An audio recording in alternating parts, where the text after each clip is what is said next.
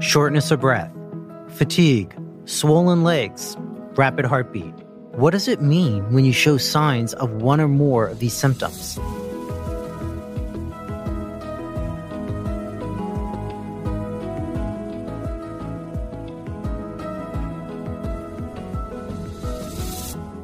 Hello, I'm Dr. John Whyte, WebMD's Chief Medical Officer, and you're listening to Spotlight On, a special series from WebMD's Health Discovered podcast. Today, we'll be talking about chronic heart failure, a condition that, if treated with the right health regimen, is nowhere near as scary as it sounds. Well, James, thanks for joining me today. Yes, thanks for having me. I was very excited to talk to you because I was reading a blog that you wrote recently, and I've got a quote from it that I want to ask you about. And you say, I was just your classic case of Mr. Unhealthy. I went to fast food places on a daily basis, drank soda, as we say in Michigan, pop, and too much beer. I had a sit down job, didn't work out, and I smoked all on top of that. Absolutely. That was my life for about three or four years before leading up to my diagnosis. I just led a certain lifestyle. I would say the classic frat boy. I was, you know, in that world, there's what I call hypermasculine behaviorism that exists where, you know, the men, we come together, we do everything in excess. So there was excess drinking, excess smoking, excess bad eating, everything bad in excess. Did you think to yourself then that it was bad and maybe unhealthy? It didn't occur to me at all because that was part of the culture, the social environment that I was involved with. That was the acceptability of behavior.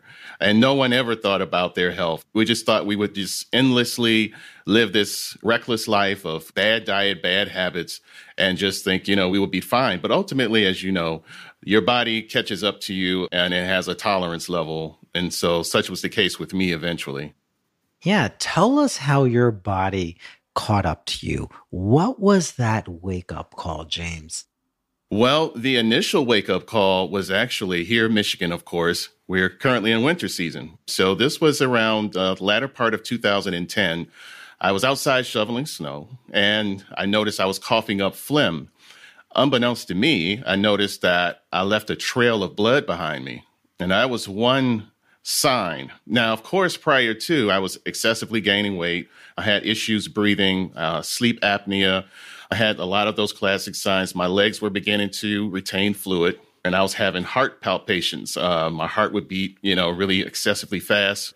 And so, but ultimately, it was when that occurred that I thought something was seriously wrong. But before that, you had said to me and wrote, you thought all that was just allergies. Was that just wishful thinking? Or wh- what was going through your brain? I knew something was wrong with me, but I was afraid of the inevitable. I was afraid of going to the doctor, which I, and a key factor here is that I was not going to the doctor at all. I did not have an established primary care provider. So, because I was afraid of going to emergency, I decided to go to the uh, local drugstore and I bought uh, cough suppressants and I bought decongestant, uh, you know, over the counter medications. And obviously, none of those things was bringing about any type of remedy uh, with my condition. But it all came to a head when you needed to find out what was going on.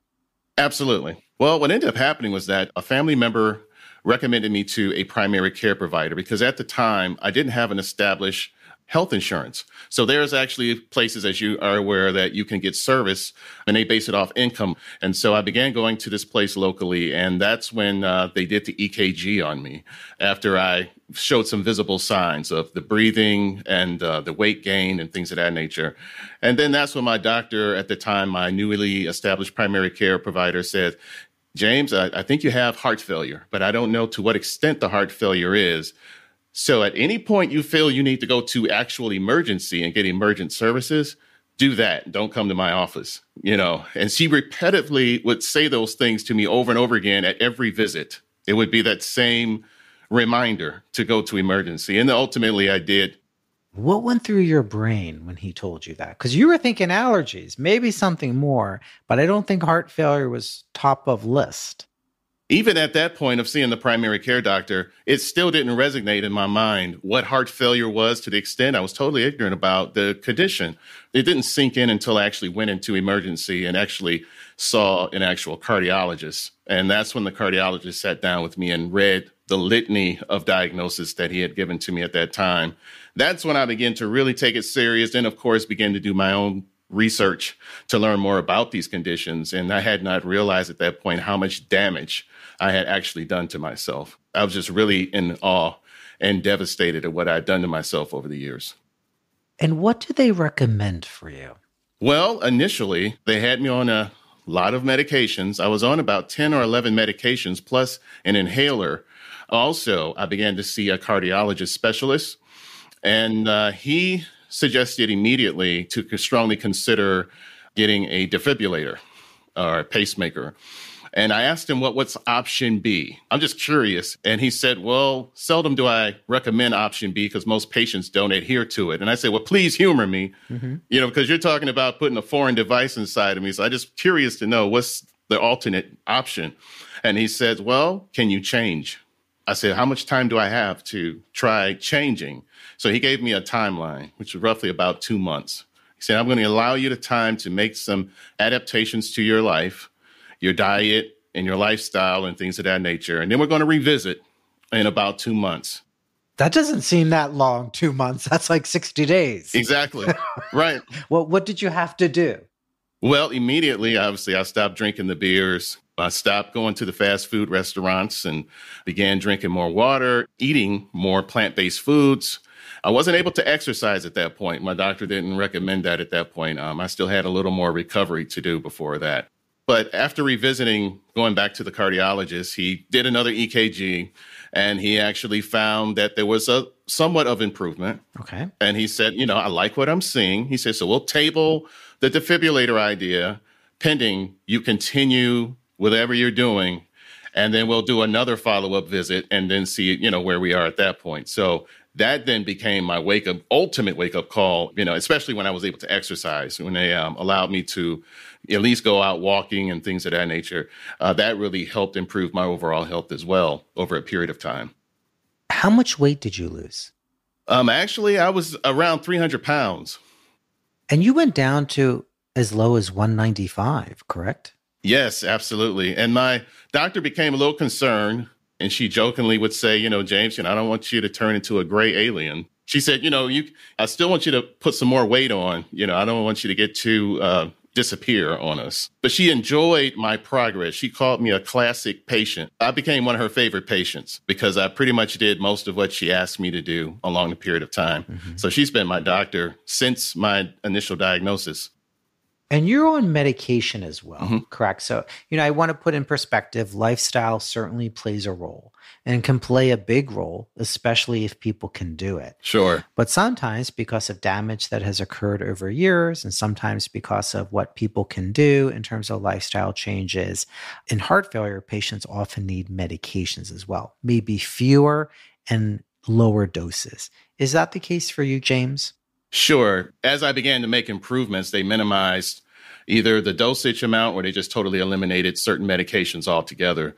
Um, and so moving ahead, because of the high blood pressure that has been pretty chronic in my life, and of course, I have a family history of high blood pressure, hypertension, my primary care doctor indicated that I'll probably be on at least one blood pressure medication for the rest of my life potentially just because of that genetic connection with family history with it. So I, have made a tremendous stride in terms of minimizing all of those medications based on just making simple changes in my life.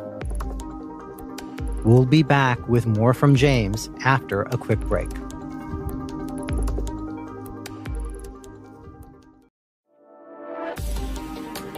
And now, back to our interview with James. Now, this is an audio podcast, and I want to disclose to our audience, and it's okay with you, that you are a man of color. Yes. So, James, I want to ask you about whether you think race and ethnicity plays a role with your doctor. So, your doctor that you're currently working with is Hispanic. Does that help address some of the issues for you? Oh, absolutely. Mainly because of the cultural understanding. She's totally knowledgeable about the community I come from and a lot of the uniqueness in terms of um, the diseases and conditions that we experience as a community disproportionately. I always use that word disproportionate because a lot of, like, especially heart disease, as you know, disproportionately, both men and women in my community suffer from that greatly. And so she's totally aware of all of that. And so that's what made her a little more concerning with me. I was 40 when I was diagnosed. And um, that was a reality that once I became more knowledgeable, she told me that, you know, in the African American community in particular, the onset of symptoms, like such as uncontrolled blood pressure and, and diabetes, happens much earlier than uh, any other population or community of, of uh, piece or race of people. So being familiar with the community, like I'm in the city of Detroit, and obviously in the city of Detroit, there's a plethora of unhealthy places, you know, within miles radius of each other. And so she's aware of that community makeup. Right. And so she's like, I understand, you know, environmentally what's going on in your community and how it might be difficult for you to be consistent with eating healthy. But she gave me ideas, you know, maybe not go to Whole Foods, for instance. You know, she said, but, you know, make little baby steps in terms of going to the general supermarket and just going around the produce section and, and learning about more about fruits and vegetables that way.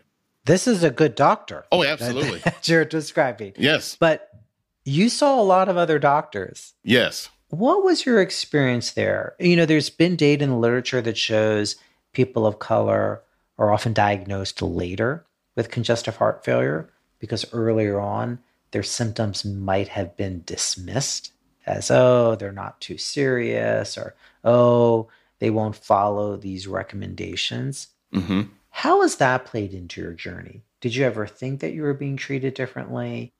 Oh, sure. Well, prior to the wonderful doctor I ended up with. What is that doctor's name? Dr. Marissa Abo. Okay. Yeah, I have to mention her. She's such a wonderful person. But uh, the doctor I was seeing, which was a brief visit uh, prior to meeting her, he was very dismissive. In fact, he kind of treated me like a typical case study. You know, it wasn't an individual kind of approach, not really trying to understand my unique situation and how I became or got these uh, diagnoses or these conditions. It was just more so like he and, and no eye contact either. It was it was a lot of the visits. He would just stare into his laptop and I guess maybe he saw that I was African American and just said, okay, African American male, okay, congestive heart failure, man, okay. You know, it wasn't nothing personalized, you know. So I really didn't feel like a connection was there and that he really cared. You know, he just was kind of shifting me around and said, "Here's some medication. Take the medication as as prescribed, and I'll see you in three months." What's been the impact on family members and loved ones? Well, I have an interesting story, and it deals with my father. My father actually passed away in 2014 Sorry. due to congestive heart failure and diabetic complications, right? Now, my father watched me make all these tremendous strides and changes and shifts in my life, you know, while he was alive. And he was always amazed and he was like, wow, you really, you know, getting your act together. And that's great. But uh, my dad always struggled with making those changes for himself. And so um, ultimately, when things went in the worst way for him and he was in his transition stage i remember him saying something to me and he said you know son i watched you and you've gotten your health back and that's beautiful. He said obviously i didn't do that. But he said son in life we all make choices and decisions. And ultimately we have to face the consequences of those choices and decisions whether they be good or bad. And he said and i've actually made mine. You know, he said, so don't feel bad for me. He said, it's, it's all about decisions, you know, hmm. but he wanted to encourage me to continue doing what I was doing, you know, because the one thing he keyed in on was that most men in our family don't live past 69. And he died at 69. So that became another goal of mine, if I will, to, you know, try to break that generational, if you will, curse um, and live a longer life. And yes, absolutely. Now, your diagnosis has changed so many things about you. It's changed how you look, how you feel, how you eat, how you exercise. But, James, it's also changed your career. so, you started as a graphic designer. Tell our audience what you're doing now. Well, because of all my experiences with heart failure after my father passed away, I decided I wanted to become part of something that was bigger than myself. Um, I was already doing little tidbits on my social media, but not really making an impact. So I decided to link up with the American Heart Association. And doing that, I became a local volunteer, did some television, radio. Then all of a sudden, I'm doing things on, with them on a national level. I'm actually, as a volunteer, attending scientific sessions, right? Um, also, they invited me to become part of scientific grant proposals uh, sessions. That's when the lights came on. Once I realized I had an acumen for looking at and studying basic science, uh, clinical science, population science, you know, and I'm looking at all these people that I would encounter at these meetings all of them had MPH behind their names, you know, masters of public health, in addition to being medical doctors. So I knew there was some value some value to that. Sure. And so through encouragement from some of those doctors and some of those professors, they said, James, you know, we're behind you. You know, if you want to pursue the MPH, I think it would be a tremendous compliment for you. And so I ended up applying to Purdue uh, University, where I'm currently in my last year. Wow. I have two uh, current semester and the next semester and then, as you know, after the ending part would be me uh, doing my practicum. Sure. Yeah, so I'm looking at graduating uh, the fall of this year, actually, fall of 2023. Congratulations. That's terrific. Thank you. You're coming over to the public health side and, and helping educate everyone. Yes. Tell our audience how you're doing today. I'm doing great today. And you know why? Because not only do I have my health further under control, but I'm also, as we just talked about, I'm in my purpose in life. And I never thought I would be in this space. Never thought I would be in graduate school and pursuing a master's in public health. But uh, my life has become so much more purposeful now. People see me now because I've been doing this for the past six years. I'm like the heart guy. You know, even in my community, I'm the heart guy. And I like that. Where can people learn more about you and what you're doing? Well, you can uh, find me on LinkedIn under James L. Young II. Mm-hmm. I also have an Instagram page as well called James Heartbeat. Um, and there I post a lot of tidbits on general information about, you know, heart attack, strokes, and general heart health tips for people as well, and sharing of my advocacy work as well on there. So those are two places, main places you can find me. Well, James, thank you for sharing your story today. Thanks for having me. I really appreciate it.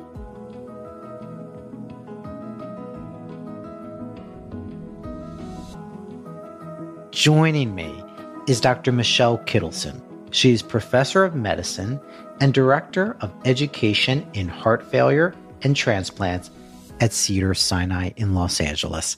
Dr. Kittleson, thanks for joining me today. I'm delighted to be here. Thank you. We talk a lot about heart attacks, and patients know heart attacks. And I'm an internal medicine physician, but sometimes when we talk to patients about heart failure, they seem a little confused. And even the terminology makes it sound like it's imminent. So, can you review for our audience what do we mean by heart failure? Yeah, absolutely. So I think a better term than heart failure, because as you said, it sounds like someone is a ticking time bomb waiting for disaster to strike, is cardiomyopathy, which is disease of the heart muscle. And I like that term better. So if a patient comes to me with carrying a diagnosis of heart failure, the first thing I like to do is figure out does the diagnosis make sense? Do they have the cardinal symptoms of shortness of breath, swelling in their legs? And then the next question is what's the root cause? There's about a hundred different reasons why a problem with the heart muscle could result in shortness of breath and swelling in the legs, and then disease directed there can come from there. So I think the first step is exactly as you said educate patients you are not going to die imminently and let's now figure out the next steps. And what about the fact we're so used to connecting chest pain with heart disease? So, hey, I'm telling you, you have heart failure, but I never had chest pain. I'm just short of breath and I see fluid, sometimes in my ankles or legs, but they feel like they're just getting older. So, what about that presence of chest pain, which may or may not exist? That's a great point. And I like to think about five cardinal symptoms that could be a signal that there's something going on with the heart, whether it's the muscles, the arteries, the valves, the electrical system. And those five cardinal symptoms that should often direct attention towards the cardiovascular system are chest discomfort, shortness of breath, palpitations, lightheadedness, or fainting. And I think those five symptoms really encompass concerning cardiac related problems. And so that's how I educate patients. You know, chest discomfort absolutely can be classic for one, but nothing is 100%. And then when you think about heart failure, or cardiomyopathy. So, the intrinsic problem, the major malfunction is the heart isn't pumping properly, and that results in fluid backing up instead of moving forward to the rest of the body. If it backs up in the lungs, you get short of breath. If it backs up in your legs, you get swelling. And that's the unifying explanation. You mentioned those five cardinal symptoms. I love how you say cardinal for those listeners that went to Catholic school were used to the cardinal sins, which aren't necessarily the same, but they're serious. You don't have to have all of those symptoms, right? Exactly right. And they're not, I wouldn't call them uh, mortal or venial. I think cardinal, for those of us who went to yeah. Catholic school, yes. I, I think cardinal is appropriate. But exactly right. That's a warning sign. Maybe you're perfectly healthy. But those are the five things that raise attention. There could be something going on with the heart, maybe the heart muscle, maybe the arteries, etc. Now, Dr. Kittleson, we know in heart disease, women sometimes present differently. We know that sometimes when people of color present with the same symptoms as perhaps a Caucasian person might, they might treat it differently. It's not so serious. Can you talk about what we sometimes see in terms of the disparate treatment, even in terms of diagnosis? So maybe we can even start with how they might present differently with heart failure. Yeah, absolutely. I think there's a combination of distinct biology as well as social disparities that result in the differential diagnosis and treatment of Black Americans with cardiomyopathy. The two most important biological pieces to keep in mind is number one, hypertension is very common in Black Americans, and hypertension can lead to a cardiomyopathy, disease of the heart muscle, heart failure. The second very important condition to consider in Black Americans who present with heart failure is a specific form of cardiac amyloidosis that's caused by a gene variant. The gene variant is, in fact, present in 3% of Black Americans. Now, there's variable expression. So, not everyone with the gene mutation or variant will get the disease, but it means that as a clinician, we need to have a heightened awareness for those populations. So, that's the biology because they may be at greater risk. Some folks, their eyes might be rolling over as we're talking about genes and expression. But the bottom line is a certain percentage of the population is going to be at greater risk to begin with, partly in terms of their genetic makeup and how it's impacting their heart tissue and muscle. Exactly. And, and I think if you go through epidemiological studies, you will find that absolutely Black men have a higher risk of heart failure related cardiovascular death compared to white men. The same can be true for Black women compared to white women. That can be even a larger gap in younger versus older people. Rates of hospitalization can be higher. So, all these things are true. Now, why they're true is this something we'll, we won't solve in this conversation? But I think the one thing we can do is say, as clinicians, we need to have a heightened awareness of these specific issues. And as patients to advocate. I have a rule, I have many rules on how to be a better doctor. And one of them is if a patient presents to you the second time with the same problem, the second presentation deserves a more in depth workup. You might say you're fine the first time, but you're not allowed to say you're fine the second time without a more thorough, in depth investigation. And I think that's true for patients as well. I love that. I love Dr. Kittleson, how you said your rules to become a better doctor. We're always lecturing patients how to be a better patient. Well, we have to focus on being a better doctor. When you think about diagnosis, you know, folks often can be confused because we have lots of different, you know, workup strategies for heart disease. We say get on treadmill, do these different tests. In heart failure, in some ways, we could say it's a simpler diagnosis, isn't it? In terms of the number of tests that you need to get done. That's a good point. I suppose as a heart failure specialist, I want to say it's a very complicated diagnosis. It it's is a complicated year, years and years of honing my craft. and there's many variants, but they may not need as many tests. How about that? They need the right test, and you got to go to the yes. right doctor to get the right test and interpret it correctly. But there's a couple of tests that their doctor should be ordering if there's a concern for heart failure. 100%. I think the most important thing is if a patient presents with shortness of breath and or leg swelling, it is very reasonable to reach for an echocardiogram, an ultrasound of the heart, as the next test. It is non invasive, it carries no risk, and it offers a wealth of information of cardiac structure and function that can then lead to the next steps down the line.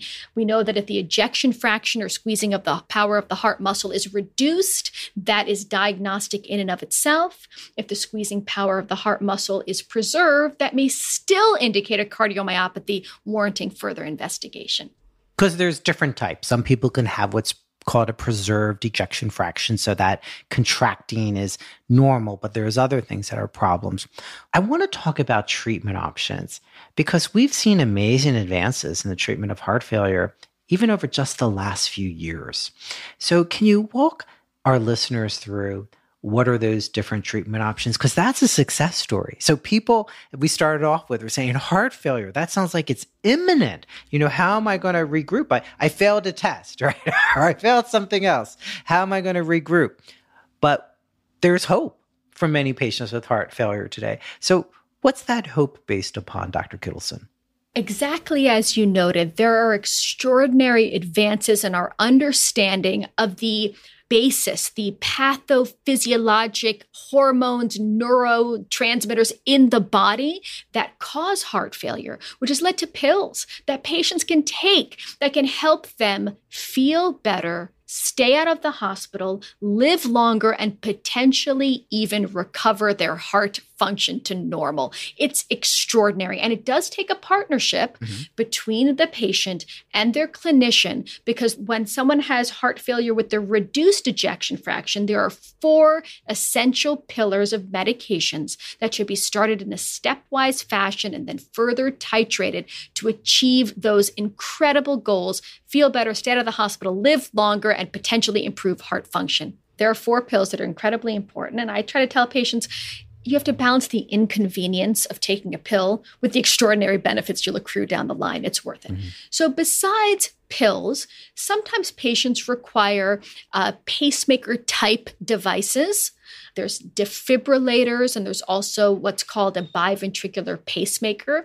It doesn't require surgery to implant them. It's a small incision in the chest area, a little device slipped under the skin, sometimes an overnight stay in the hospital.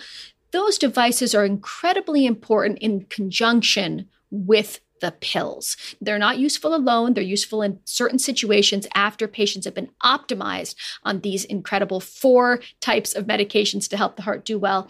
And I think about the two devices very differently. Now, the defibrillator sits in the chest, it watches the heart, looks for a dangerous heart rhythm. If it finds when it treats it, it saves your life. It's like if you have a cardiac arrest and it shocks your chest and you live. So I think of it like an insurance policy. If you have an insurance policy, you don't necessarily feel different on a day to day basis, but it's there if you need it contrast with this other device called a biventricular pacemaker, same type of procedure, but it helps the heart beat in a more synchronized and efficient fashion. So, certain patients with certain characteristics on their electrocardiogram and echocardiogram can be candidates for this additional bonus to the defibrillator that can help them feel better and live longer.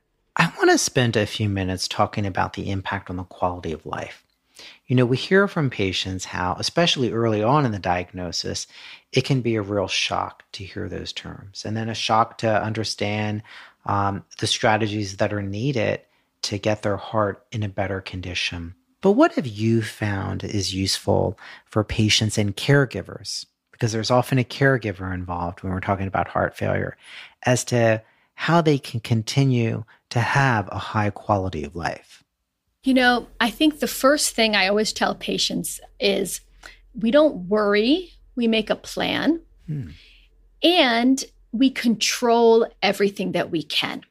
So I often tell them, I can't predict where you're going to be 10 years from now. And anyone who says they are is lying to you. No one can predict the future that far in advance. Mm-hmm. But let's take where we are right now Let's establish our goal, which is to help you feel better, stay out of the hospital, live longer, potentially improve heart function. If that is our goal, what is in our power to change to help you achieve that goal? So I think that's so important to frame. There is so much swirling and chaotic emotion around the diagnosis of heart failure, and I completely get that. But I feel that my role as the clinician, as the physician in the patient physician relationship is to have the plan, the plan that will achieve the goal we want. And so that they can harness that emotion, that energy to something productive and constructive. Let's give practical tips to patients because let's put it out there.